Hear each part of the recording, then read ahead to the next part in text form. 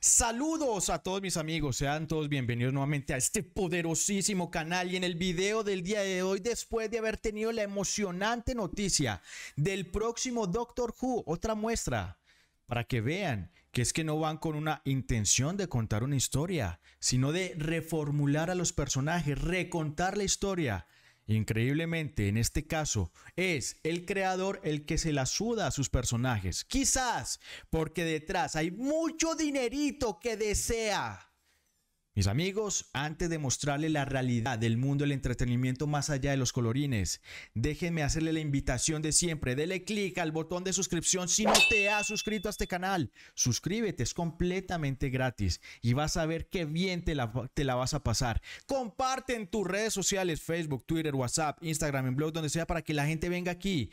Y si estás de acuerdo con lo que nosotros estamos hablando aquí en el canal acerca de que no nos dejemos engañar con colorines tontitos, pues así ayudes a esas personas a que abran los ojos y también se echen unas risas.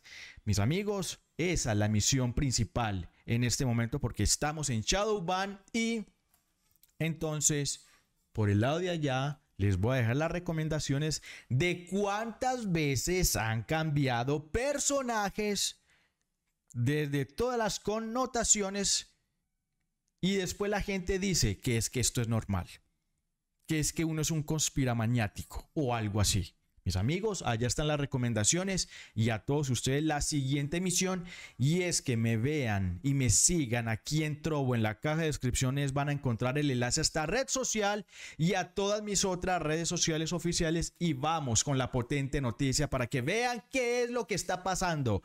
Rick Riordan declara que los cambios de raza entre de Percy Jackson fueron 100% mis elecciones, mis decisiones. Y no podría estar más feliz de cómo van las cosas. El autor de Percy Jackson, tras una noticia de las recomendaciones que les he dejado allá, infortunadamente solamente puedo poner tres eh, cinco recomendaciones, pero véanla. Felices por el intercambio de raza de uno de sus personajes, blanquito a morenito. ¿Qué cosas? No, no pasa nada en la industria del, entretenimiento. Solamente que nosotros aquí podemos especular casi que estando seguros que es la plata, porque es Disney la que le está ahí patrocinando los potentes billeticos a el autor. Increíblemente, el autor traicionando a los fans. El novelista Rick Riordan acudió recientemente a su blog para declarar que los intercambios de raqueta de Annabeth y Grover para el próximo programa de Percy Jackson son Percy Jackson y los atletas olímpicos de Disney Plus fue su lección y decisión. Dinerito ahí sabroso en los ojitos a el autor. Riordan, quien es, es el creador de la serie de libros de Percy Jackson, proporcionó una actualización sobre el Día de la Madre discutiendo su primera semana en el estudio donde actualmente están filmando Percy Jackson y los Olympians. Como parte de esa actualización, el novelista declaró, dos puntos, abro comillas, Estoy encantado de escuchar acerca de la respuesta abrumadoramente positiva a los anuncios de casting. Está bien fundado. Tenga la seguridad de que estos actores son 100% mis elecciones, mis decisiones y no podría estar más feliz cómo van las cosas. Cierro comillas. Palabras textuales del creador. ¿Qué ha pasado, mis amigos? Porque hay que verlo todo entre líneas. A pesar de afirmar que las respuestas a la noticia sobre el casting son abrumadoramente positivas, Riordan luego aseguró a los fanáticos que no están de acuerdo con las decisiones. Dos puntos, abro comillas. Si tienen alguna duda, esperen hasta ver los actuales del programa. Verán rápidamente por qué los elegí y por qué tengo tanta confianza. Cierro comillas. Si las respuestas son abrumadoramente positivas, ¿por qué Riordan necesitaría tranquilizar a la gente sobre el casting del programa? Elemental, mi querido Watson, porque las respuestas no han sido positivas al respecto. Esa es la razón. Si tenés que salir a dar una explicación es porque hay gente que no, que no está como de acuerdo con lo que está pasando y que increíblemente o vamos a ponerlo así, certeramente, ciertamente es un alto número de esas personas. Porque volvemos a lo mismo. El problema no son los actores. El problema no es que quieran cambiarlo, el problema son las intenciones que hay en la industria del entretenimiento actual para cambiar personajes, cambiar sus orígenes, cambiar su desarrollo original del programa o del personaje para poder completar las cuotas de las que tanto nos reímos en este canal, porque quieren impulsar algo a través de la criatura que más odian. Y terminan siendo la sombra de eso original, porque siempre va a haber un punto de comparación con algo anterior. Que el Capitán América no era un blanquito.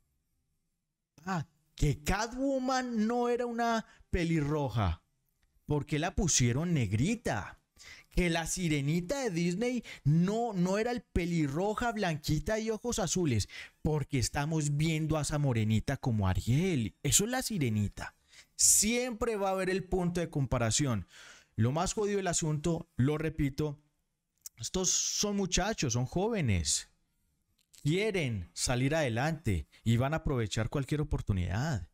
Pero como decía John Ripa, a los grandecitos que se prestan para estas cosas. ¡Qué vergüenza! Qué falta de carácter, qué falta de entereza de permitir interpretar un personaje que originalmente no es así y donde siempre los van a comparar, siempre. John Ripa decía eso, busquen el canal del hombre y van a ver quién es el que lo dice y lo decimos aquí. A mí me han dicho, es que es un raqueta, chúpate un bolis. Social Justice Hero de Pudding Weirdos. Aquí a ver, ¿usted les haría mucha gracia que cambiaran, por ejemplo, no sé, a Bad Boys?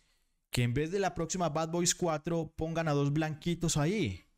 O que hicieran un remake, por ejemplo, de. de. Mm, de Arma Mortal.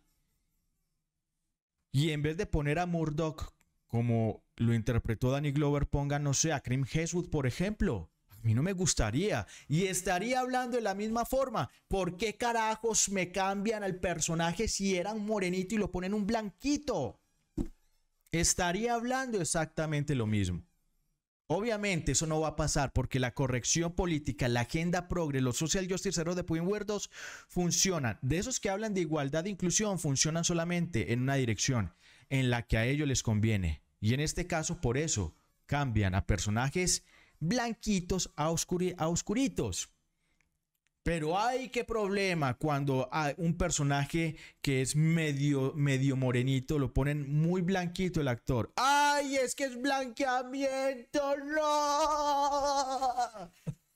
Ahí sí, ponen el grito en el cielo. ¿Por qué? Porque la agenda de la corrección política no le importa a las personas.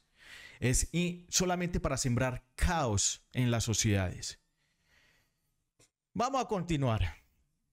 Está claramente, es, bueno, después de aquí el programa, el casting del programa, la pregunta, o ta, ta, ta, esta es claramente otra evidencia que muestra cuán falso ha sido Riordan con respecto al reparto de los personajes. Cuando el autor anunció por primera vez que los castings en su sitio web y reveló que la actriz Leah Savage Jeffries interpretará a Annabeth Chase, Riordan declaró descaradamente: Leah es exactamente como imaginé a Annabeth en los libros, en los libros, inteligente, fuerte, valiente y una verdadera hija de Atena que tiene cero paciencia para las tonterías de ciertos cerebros de alga. Miren, están hablando aquí de cualidades. No están hablando de la apariencia. Qué tremendo falso, codicioso salió el Riordan. tremendo falsete el que salió. Muy falso, como toda esta gente de los social justice de Ahorita vamos a ver una comparativa muy interesante. Sin embargo, Jeffries no se parece en nada a la forma en que Riordan describió a Annabeth en sus novelas. Claramente la actriz no es como él la imaginaba, dado que no coincide con sus descripciones en las novelas, que es lo más patético del mundo. El tipo ya había descrito cómo eran los personajes. En el caso de Annabeth, dice, una linda chica, su cabello rubio rizado como el de una princesa. Probablemente tenía mi edad tal vez un par de pulgadas más altas y un aspecto mucho más atlético, con su bronceado intenso y su cabello rubio rizado. Era casi exactamente como pensé que sería una chica estereotipada de California, excepto que sus ojos arruinaban la imagen. Eran de un gris sorprendente como nubes de tormenta, bonito pero también íntimamente intimidante, como si estuviera analizando la mejor manera de derribarme en una pelea igualito a, lo, a quien han eh, escogido para el casting. Igualito. Son igualitas. Míralos, esos ojazos grises. Mira ese pelo rubio de princesa. Igualitos. Ese es el problema constante. Este bronceado por el sol de California. Igualitos. Mis amigos, ¿Saben cuál es el problema? Que hay precedentes de cómo un autor se la suda sus obras. Se la suda por completo. ¿Se acuerdan cuando hablamos de Larry Hama, G.I. Joe y el Snake Eyes? Snake Eye, un tipo rubio, pero para la adaptación ponen a un asiático. ¿Cómo le fue a esta película? ¿Cómo le fue? 34 millones de dólares reunió. El costo de la película fue de 84 millones de dólares. Ponte progre, hazte pobre.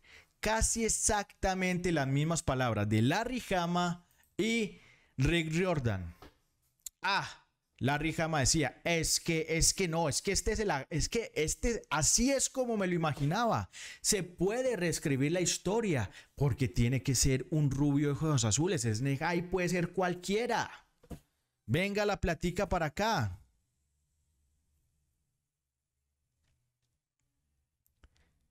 $88 millones de dólares costó la producción de Snake Eye para terminar recaudando a nivel mundial 34 millones de dólares, porque traicionó a los fans.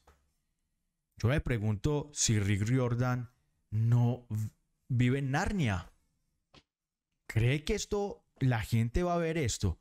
La diferencia es que seguramente a él le pagaron los de Disney y ya está. Pero de en adelante sus libros, la gente va a empezar a pasar de ellos porque el mismo autor sucumbió a la tentación y cambió a los personajes, sin ninguna necesidad. Ponte progre, hazte pobre. Rick Jordan, su experiencia igualita a la de Larry Hama. 34 millones de dólares, la producción costó 88 millones de dólares, pero hey, según Larry Hama, la historia se puede reescribir. Eso no está hecho sobre piedra. Exactamente lo mismo aquí. Así me la imaginaba yo, a pesar que en, los mismos libros la describe de una forma completamente diferente. Si ven cuál es el patrón ahí, ya lo están viendo mis amigos. Estaré leyéndoles en la caja de comentarios. Cliquen el botón de suscripción. Sigan viendo videos aquí en el canal. Compartan en sus redes sociales para que la gente vea las cosas más allá de los colorines. Porque están presionando para cumplir una agenda y están comprando conciencia. Mis amigos, no siendo más me despido. Hasta pronto.